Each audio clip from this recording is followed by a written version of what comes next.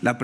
la, política del presidente Andrés Manuel López Obrador, que ha sido instrumentada en 10 puntos que se presentaron ante el Consejo Nacional de Seguridad Pública, involucra a la unidad de inteligencia financiera, eh, por lo menos en el tema del combate a la corrupción, en razón de que los grupos delincuenciales no surgen por generación espontánea, sino se producen en contextos de corrupción política, particularmente regional y local. Segundo, el combate a la corrupción dentro del Poder Judicial y dentro de los ministerios públicos, como el propio presidente de la Suprema Corte de Justicia lo ha planteado, es relevante combatir a la corrupción que en el Poder Judicial, en los poderes judiciales, en los, en los ministerios públicos, que generan mecanismos de protección a los grupos delincuenciales. Y finalmente, lo más relevante es el combate a las estructuras financieras de los grupos eh, delincuenciales, además de atender evidentemente las causas de la delincuencia organizada, particularmente disminuir el eh, grupo de apoyo social que puedan tener estos grupos delincuenciales. En el tema específico del combate a las estructuras financieras,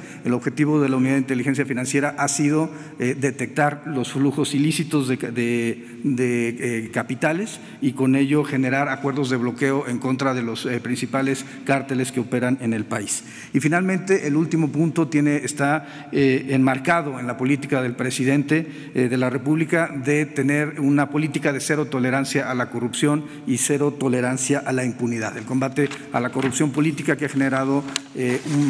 una gran cantidad de males para la sociedad mexicana.